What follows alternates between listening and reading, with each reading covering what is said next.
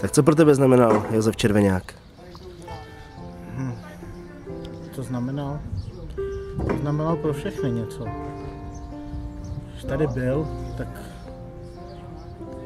měli jsme se líp, si myslím. Bylo tady, no, nebáli jsme se ničeho, byl nějaký problém, věděli jsme, kam máme jít, kdo to zařídí. Teď je problém, není za kým jít. Jdeme do města, tam nás odbydou. A když tady byl on, tak to tak nebylo. Zařídil to a měli jsme to. Teď, teď je to špatný pro nás. Myslím, pro všechny. Ten chlap prostě, když se řeklo Červeňák, Josef, tak celý mělník ho znal, věděli, že prostě dokáže všem pomoct. Ale teď už to tady není, že jo. By to chtělo být jinýho třeba, aby nám pomáhal. Nebo něco, že jo. Ale teď nevím, no. Je to špatný.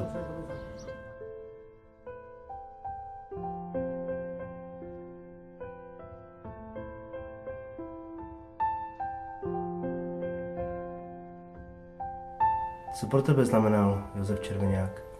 tak pro mě znamenal moc. Byl pro mě vzor, kterýho jsem měl moc rád. Zažili jsme z toho moc, jak po hudební stránce, tak srandy. Byl pro mě jak otec. Byl hrozně hodný.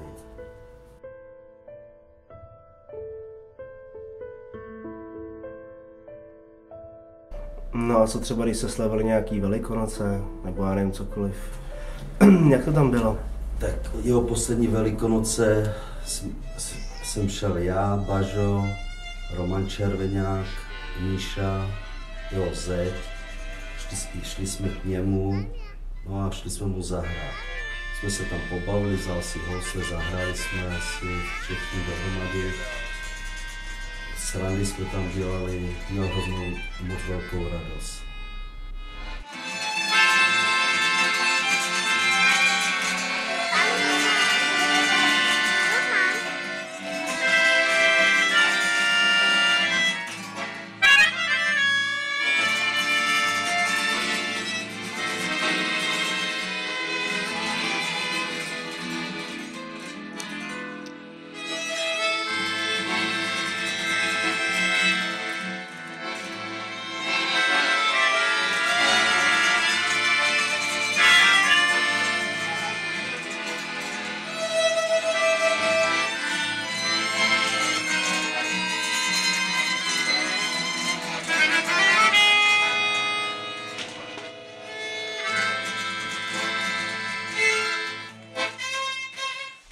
Třeba, když se pilo akce?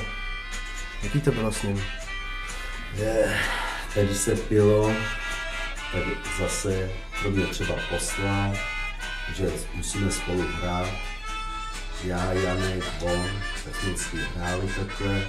No ale jako srandy s tím byly. Tancoval, zpíval. Byl radostný člověk.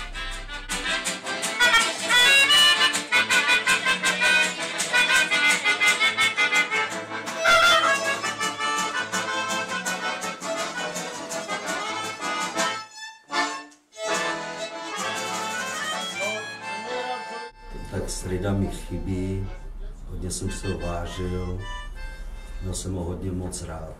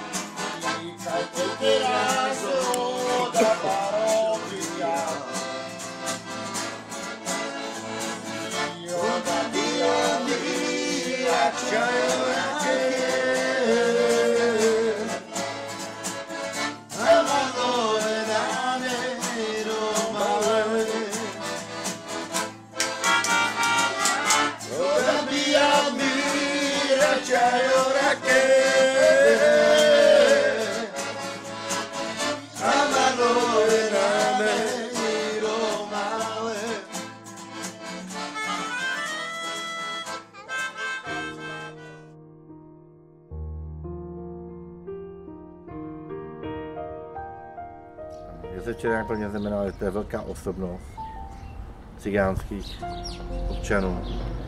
Pomáhal nám na trh práce, takže začal vlastně pracovní podmínky pro nás, že jsme začali vlastně, každý chodil po smeťákách, nechci říct, že jsme chodili i krát, a to přišel pan Čeveňák, tak to všechno skončilo. Všichni jsme chodili do práce, měli jsme se dobře, měli jsme co jíst, ledničky jsme měli plný a žili jsme na stejné úrovni jako by bílí. A to nám vlastně dal, otevřel nám oči a ukázal nám, že se dá jinou cestou k penězům. Pracovitě, prostě byli jsme takový, jak máme být. A bílí si o nás řekli, že jsme se změnili. A že my jsme řekli, ano, změnili jsme se, ale díky panu Červeňákovi. Ten nám otevřel oči a dal nám směr cesty. A to se teď my držíme. I když tady pan Červeňák není, tak držíme se prostě jeho směru a daří se nám. Tak moc krát tady tu cestu, moc krát mu děkuju.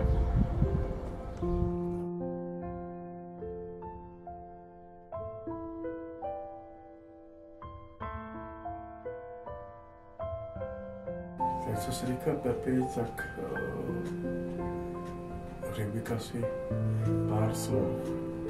Mně jde o člověka, který pro mě v mém životě hrál důležitou roli. Jde o to, že vlastně je to i můj švagr. A můžu říct, že za ty leta, co se známe a znali jsme se, tak jsem ho bral jako staršího bratra. To byl člověk, který vlastně pro Českou republiku a vůbec pro Romy byla velká osobnost. Hrál politickou roli pro Romy v České republice. Měl významné místo pro Romy, co se týká působení v politice. V politice vlastně on se angažoval po revoluci a usiloval o to, aby Romové v České republice měli své zastoupení, aby se na, aby se na ně nehledělo jako na ten poslední, poslední článek vůbec v této republice. Pepa to byla osobnost. Nejenom osobnost pro Romy, a byla to osobnost i pro majoritu. Chtěl bych říct, že Pepa měl rád společnost. Rád se bavil. Měl rád lidi. A uh, toto, tato jeho vlastnost vlastně mu zůstala po celý život. Měl obrovské charisma. Člověk, který ho potkal, tak rád se s ním bavil a byl rád v jeho blízkosti. Lidi ho obdivovali.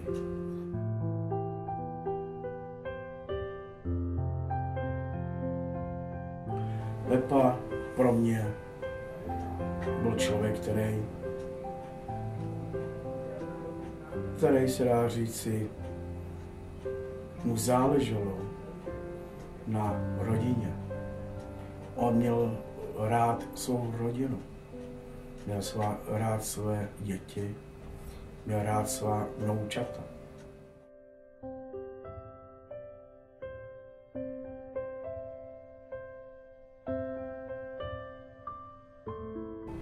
Měl rád holky, to jako musím podotknout.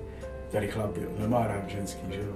Ale Pepa zvlášť, byl takový náš takový člověk, který, jak spatřil nějakou babu, říká, chlapi, kluci, mladým to vždycky říkal, Dali by se si říct, že jo. A kluci, strejdo, a to už není pro tebe. Ty už máš ten věk takový, že budeš rád, že budeš rád. A Pepa vždycky, jo, to by se zdivil, chlapečku.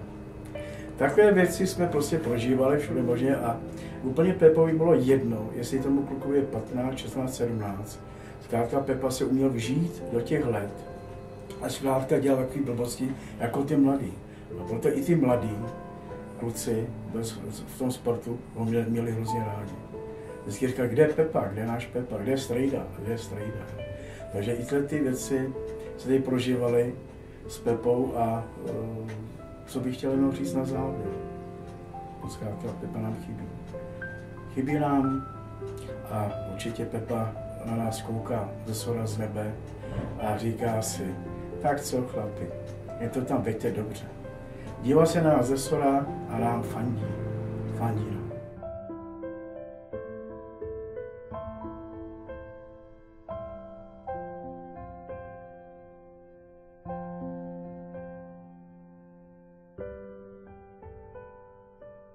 Tak Pepík Červeňák, to byl můj švagr, kterého jsem si hodně vážil.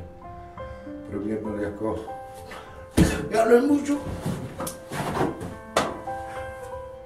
Pepík Červeňák byl můj švagr, kterého jsem si nesmírně moc vážil.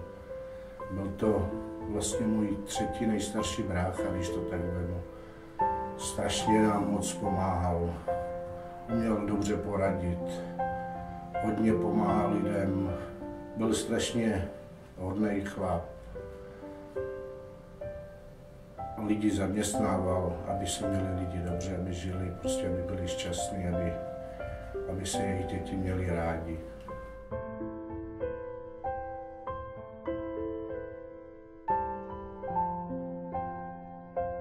Tak můj děda pro mě znamenal moc. Byl to vlastně můj jediný děda, toho druhého jsem v životě nepoznal. V některých chvílích mi nahrazoval vlastně i jakoby tátu, že to byl jako můj druhý táta. Mám na něj jenom ty dobré vzpomínky. I když jsme se někdy neschodli, co se týče fotbalu, byl to slávista, já jsem byl Spartan. Furt mě srovnával vlastně s Kájou kvůli fotbalu, ale myslím si, že jsem lepší fotbalista jak Kája teda, i když se to Káve nebude líbit asi, až to uvidí. No ale co se dá dělat.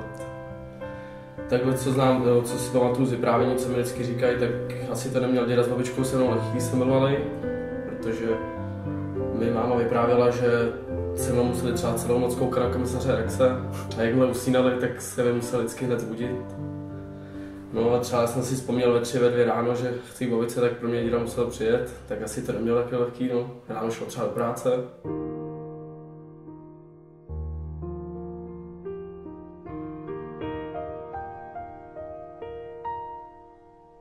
Tak jsou chvíle, kdy vlastně třeba na fotbale, jak říkám tam za mnou, furt chodil se koukat na fotbal, bylo mě pišný, když jsem hrál. No a jsou tady chvíle třeba, nevím, každý den jsme si chodili sázet do Fortuny, tak to jsou taky takové chvíle. A vlastně kdykoliv jsem přišel k babice, tak on tam byl a prostě povídali jsme si každý den a jako cítil jsem se tam dobře. Jako doma, kdybych se tam cítil.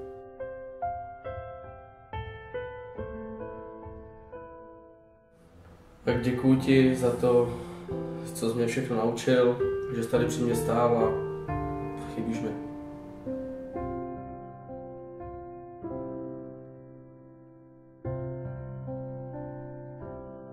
Josef Červeňák, Josef Červeňák pro mě znamenal hrozně moc.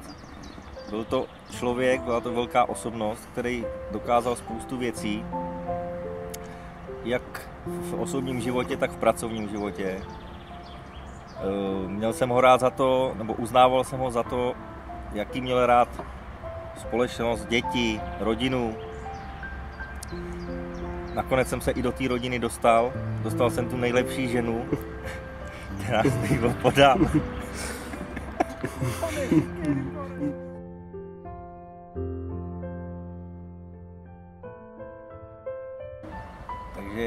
ještě bych chtěl říct, že eh, Pepikovi Červeňákovi jsem vděčný za to, kde jsem dneska. Eh, Seznámil mě ze spousta lidma, s kterými do dneska já komunikuju, díky nim mám práci, eh, zábavu. Je škoda, že už tady mezi náma není, nemám se s kým dohadovat o fotbale. Věčný slávista, věčný Spartan.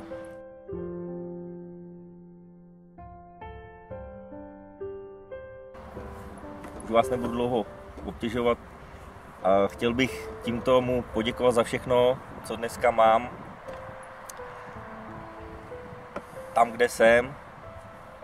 A tímto bych vás chtěl i po, pozvat na večerní zábavu, protože jak všichni rád se bavil, takže chci, aby jsme se bavili i my. Takže děkuju a mějte se.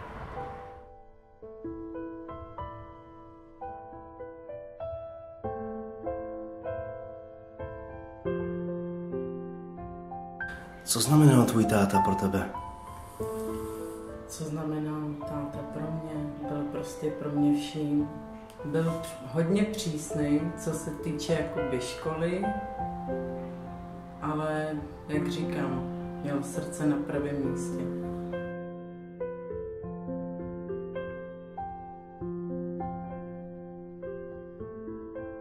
A jaký jsi měla dětství? Dětství, nej, nejkrásnější dětství, no. Krásný, dal nám všechno, věnoval se nám hlavně. Hlavně milo, miluje všechny svoje, miloval všechny svoje děti. Nedělal v ničem rozdíly a vnoučata. Čím víc dětí, tím prostě pro něj to bylo nej.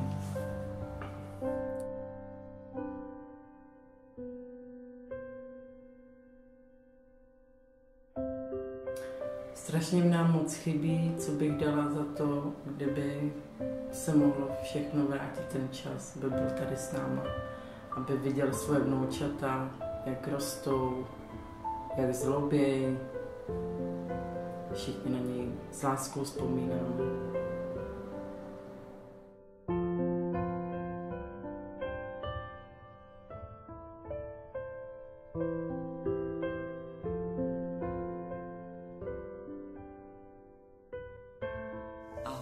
Jmenuji se Růžena. Chtěla bych vám něco říct o mém tátovi.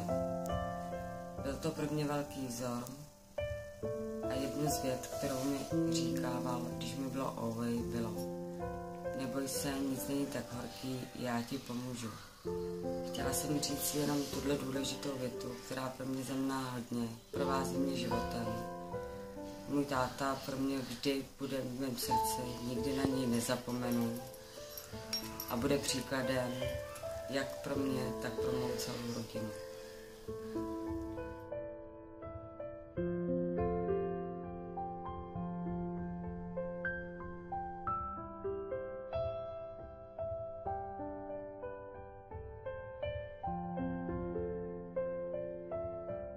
Táta pro mě znamenal hodně už jenom v tom, že jsem viděla, že ho berou lidi, nejenom Romové, ale i bílí. Měl spoustu kamarádů, který nám chodili se bavit, jako když byli mladí. My jako děti jsme se uh, hráli zase s jejíma dětma a byli to vlivní lidi, kteří dodnes třeba pracují na elektrárně, či táta tam pracoval od roku, já nevím, 74. Asi 30 let, že jo? 30 let tam pracoval. A vlastně všechny, ne všechny, ale většina těch lidí, kteří teď pracují na vyšších, já nevím, postech, i ten ředitel, tak ty všichni prošli přes státu, který če náš táta je zaučoval. Už jenom to bylo, že měl vlastně kamarády na dobrých místech, proto měl i dobrou práci, což bylo pro něho dobrý a pro nás jako pro děti, že prostě jsme měli dobrý, udělal nám dobrý zázemí, prostě všechno budovali jenom pro nás. Všechno dělal fakt pro děti, ale nikdy nezapomínal i na rodinu a i nemusela to být ani rodina, on pomohl i cizímu. Nikdy se nevysmíval nějakému chudákovi, prostě balil mu do tašky chleba, salám, co mu máma dala do tašky, dal mu 50 korun a prostě měl dobrý, dobrý pocit.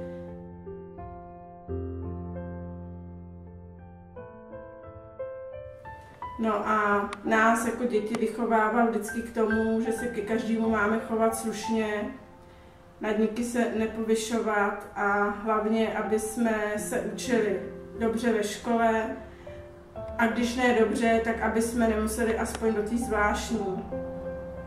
Prostě eh, dbal na to, aby jsme šli pak po škole, po základní, někam na školu. To je jedno na jakou, ale aby jsme měli prostě nějaký papír v ruce, a i když nebylo tolik peněz, tak prostě i kdyby byly poslední peníze, tak nám je dál do té školy.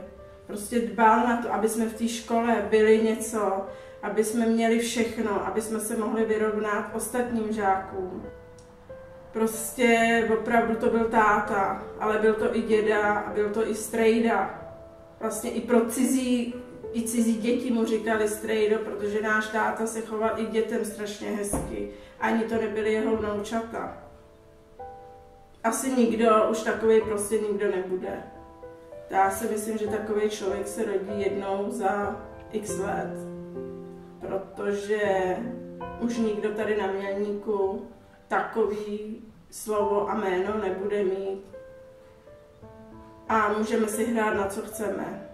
Stejně tady bude furt znít jeho jméno.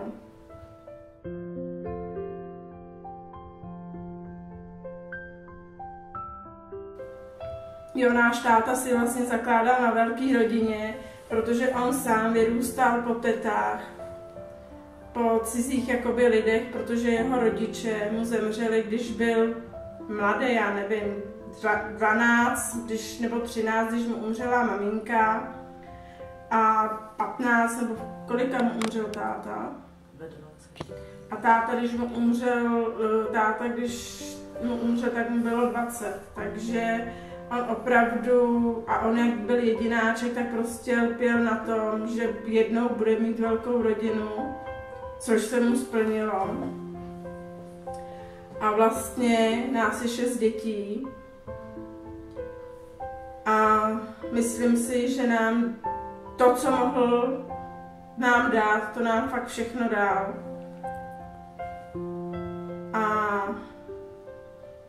Pak táta vlastně začal podnikat po té revoluci a to začal vlastně bez ničeho, bez jakýchkoliv prostředků, bez auta, opravdu, jak se říká, začal podnikat s korunou v kapse. Můj manžel pro mě znamenal strašně moc. Do dneška na něho nemůžu zapomenout. Pomáhal mi s dětma, ze všem, s vyřizováním. Pomáhal mi uklízet, prát, koupat děti, když měl volno. V životě na něho nezapomenu, mám ho furt v srdíčku.